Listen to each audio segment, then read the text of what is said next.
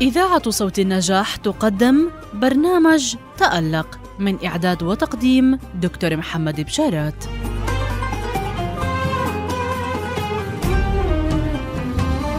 لو يشكو القلب هموما قد باتت فيه. بسم الله الرحمن الرحيم. عزيزي المستمع عزيزتي المستمعة سلام من الله عليكما وسلام إليكما. تحية محبة فأهلا بكما معي اليوم في رسائل التنمية البشرية ومع برنامج تألق. وحديث اليوم معكما بعنوان احتفظ بهدوءك.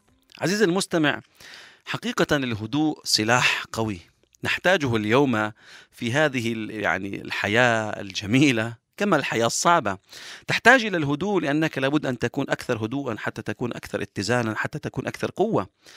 إيه، نحتاج الهدوء لأن هذا الهدوء هو الذي يعطينا الراحة النفسية والاسترخاء خصوصا أن كثير من الأشياء التي نعيشها في حياتنا تغضبنا وتشعرنا بالغضب وتشعرنا يعني باللا هدوء ولا راحة. نحتاج إلى الهدوء حتى نكون أكثر تألقا وأكثر سعادة. وهل تعلم عزيزي المستمع كيف تهرب الأسماك الصغيرة من آه، قوة ومن بطش الأسماك الكبيرة المتوحشة؟ على فكرة هي بتكون بحيلة بسيطة كثير كما جاء قال تقوم بتعكير الماء بذيلها وزعانفها حتى تصبح الرؤية فيها صعبة فيصاب السمك الكبير بالهيجان فيسهل على السمك الصغير الهرب والاختباء. إذا استطاعت هذه السمكة الصغيرة أن تهرب من بطش السمك المتوحش أن تحدث هذه الضجة وتحدث هذه يعني الماء ال- ال- المختلط الماء الغير هادئ الماء الآسن. ولكن لقد تعلم البحارة طريقة تعكير الماء هذه واستخدموها كحيلة لصيد السمك. فهم يقومون بتعكير الماء حتى يغضب السمك فيفقد هدوءه وتضيع الرؤية من أمامه وتضطرب حركته ويتخبط يمنة ويسرة إلى أن يجد نفسه أيضا واقعا في شباك الصياد. من هذا المشهد عزيزي المستمع عزيزتي المستمعة نتعلم أمر جدا مهم جدا مهم وأن نحتفظ بثباتنا وهدوئنا إذا ما تعكر ماء الحياة. وإذا ما تشوشت الرؤية لفترات أمام أعيننا سواء كان هذا التعكير بفعل عدو أو بفعل صديق أو بفعل حاسد أو بفعل ناقد سلبي أو بسبب تصاريف القدر دوائر الأيام أي شيء قد يكون هناك يعني أي أمر يعكر هذا الصفو. ولكن ما هي ردة الفعل؟ لا تكون ردة فعلنا ردة فعل سريعة غير منضبطة.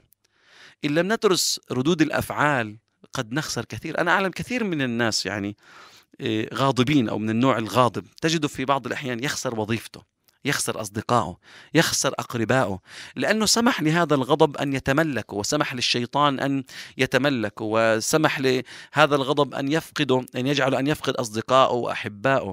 للأسف لأنه غضبان وردة فعله عنيفة وسريعة غير منضبطة وغير عقلانية. وهذا بخليه يوصل للفشل ياما ناس للأسف الشديد أحكيها وبألم. هذا الغضب خلاه يفشل حتى في مشروعه خلاه يفشل حتى في التحدي خلاه يفشل حتى في الفوز خلاه يفشل حتى في الانتصار. هذا الغضب بخليه يخسر كثير. ياما من الرياضيين غضبه خلاه يخسر مباريات وغضبه خلاه يخسر جولات وياما ناس من أصحاب المشاريع الشابة غضبه خلاه يخسر المشروع أو غضبه خلاه يخسر الهدف اللي بده إياه. عزيزي المستمع عزيزتي المستمعة مرات بنلاقي حالنا يعني من هذا الغضب خسرنا كثير أشياء بدنا إياها في حياتنا وخرجنا عن اللي بدنا إياه وراحت الأهداف اللي حطيناها قدامنا وسعينا ان نحققها لأنه سمحنا لهذا الغضب أن يسيطر علينا سمحنا لهذا الغضب أن يجعلنا غير عقلانيين غير هادئين بل سمحنا له أن يدمر الأحلام. سهل الإنسان أن يحتفظ بثبات في الظروف العادية على فكرة. سهل كثير على الواحد إنه يكون أكثر هدوءا لما تكون الأمور هادية والأمور طيبة ولطيفة. ولكن الثبات وقت الشدة عزيزي المستمع والنوازل والمصائب يحتاج إلى يقين قوي يحتاج إلى تمرس مستمر يحتاج إلى هدوء أعصاب مستمد من روح متزنة يحتاج أن نصمد وأن نصبر في عزم الشدائد وفي عزيمة الشدائد وفي قوتها وفي قوة المصائب يحتاج منا الهدوء لأنه الوصية اللي جاءت لذلك الصحابي لا تغضب لا تغضب لا تغضب لأنه كان يعلم النبي صلى الله عليه وسلم أن هذا الرجل فيه الغضب وهذا الغضب قد يجعله يضيع كثير من الأشياء في حياته. أنا أقول لك احتفظ في هدوءك أيها المستمع الكريم أيتها المستمع الكريمة.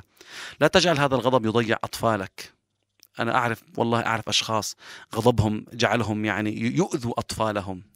أو يؤذوا أبنائهم أو يؤذوا بيوتهم أو يؤذوا حتى أعمالهم أو أصدقائهم. هذا الغضب خلاهم يخسروا حتى في بعض الأحيان حياتهم أو يخسروا أجزاء من حياتهم.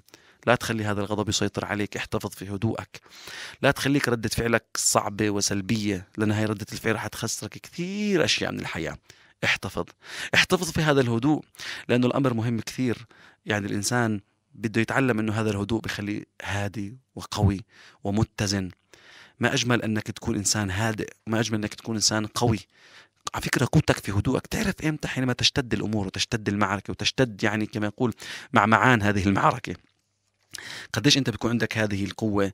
قديش بيكون عندك هذا الهدوء؟ قديش بتخليك قوي ومسيطر على غضبك؟ لأنه الغضب بصراحة عزيزي المستمع عزيزتي المستمعة والتخبط وفقدان الاتزان بخلي أمامنا الرؤية غير واضحة. بيجعلنا دائما أسرى ردود الأفعال العشوائية وبنخسر الهدوء. وبتخلي كثير أمامنا غيوم وضباب وفوضى. أرجوك.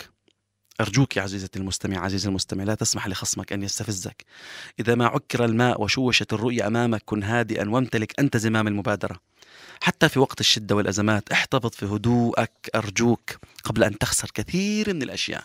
قبل أن تخسر ابنك أو بنتك أو صديقك أو مشروعك أو مالك أو صاحبك أو حبيبك أو أي حد. احتفظ في هدوءك. احتفظ في هدوءك ولا تخسر تخصصك ولا تخسر من تحب. احتفظ في هدوءك لأنه هذا الاحتفاظ في الهدوء سيجعلك أكثر قوة سيجعلك أكثر انبساط سيجعلك أكثر سعادة وسيجعلك أكثر تمكنا في سيطرتك وإدارتك لغضبك. في كان كان أحد الطلبة على فكرة المتفوقين الذين تخرجوا من الجامعة كان مطلوب منه انه يلقي خطبة في حفل تخريج. وهذا نيابة عن زملائه طبعا. بعد تفكير طويل راح الطالب لمكتبة الجامعة وحاب يشوف بعض الكتب والأقوال المأثورة. راجعها وتعلم من الكتب القانون درسها ولكن لم يستطع تحديد فكرة خطوته ثم قرأ بعض الكتب عن كيفية إلقاء الخطب والكلمات لكنه لم يتعثر في ضالته. يوم الاحتفال جلس الطالب مشان يتناول وجبة الإفطار. إجت بباله هيك حكمة من حيث لا يدري فقد قرأ في غلاف علبة الكبريت الذي كان يتناولها عبارة ابقي البسكويت باردا دون أن يتجمد. فكر الطالب أن الإنسان يجب أن عليه أيضا أن يكون كذلك وأن في هذه المقولة كثير من الحكمة.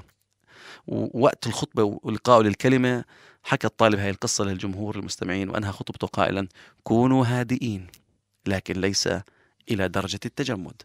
أنا لا أحتاج منكم عزيزي وعزيزتي المستمعة أن يكون هدوءك هدوءا متجمدا أن يكون هدوءك هدوء لا مبالي وإنما أحتاج هدوء القوي هدوء المتزن. هدوء الإنسان المتألق في حياته. في الختام أتمنى لك ولك الاستفادة والاستزادة والتطبيق حتى نكون متألقين في حياتنا متميزين في مجتمعاتنا. وإلى لقاء قريب بإذن الله تعالى. السلام عليكم ورحمة الله تعالى وبركاته. محبكم محمد بشارات